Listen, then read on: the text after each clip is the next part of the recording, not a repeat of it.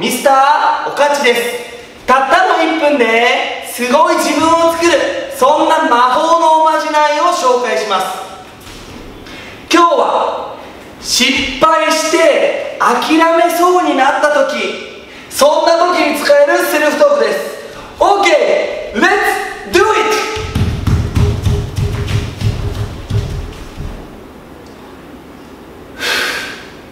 勝負はここから勝負はここから。以上です。成功は諦めの一歩先。